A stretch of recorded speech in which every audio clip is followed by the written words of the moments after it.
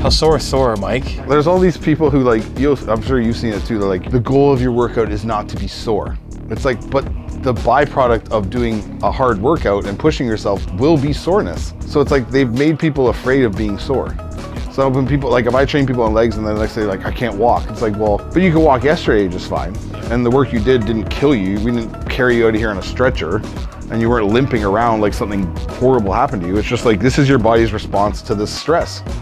And like over time, you'll acclimate to that. You need to learn to be sore and, and adapt to soreness and then Being a understand. bodybuilder is like living sore. Yeah.